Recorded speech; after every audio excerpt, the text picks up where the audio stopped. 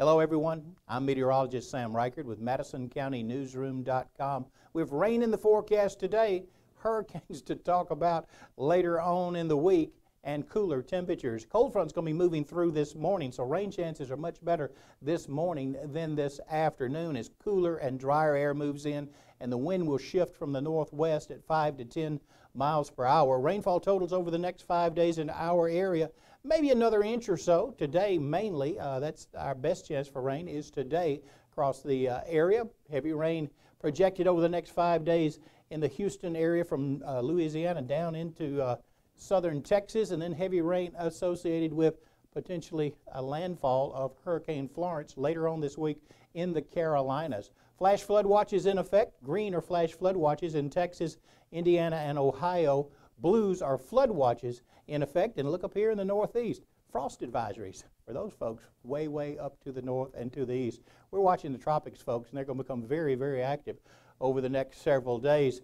Tropical storm Florence expected to become a minimal hurricane today, but expected to take a track to the north and to the west and become a very strong, possibly a Category 4 hurricane before making landfall somewhere, it looks like, looks more likely in the uh, South Carolina, North Carolina areas, probably North Carolina, and then that system is just going to hang out in the area and become a, a very much a flooding concern over the uh, days after Wednesday, Thursday, and Friday. We're also watching Isaac down here way out in the Atlantic taking a westerly track.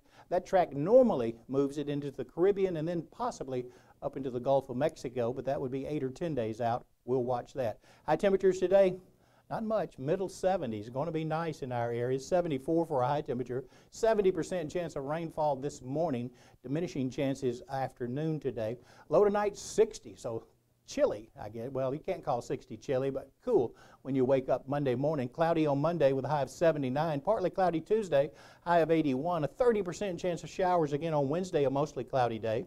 High temperature 83. 87 and partly cloudy Thursday. 89 and partly cloudy Friday. Saturday, mostly sunny. High temperature 89 degrees.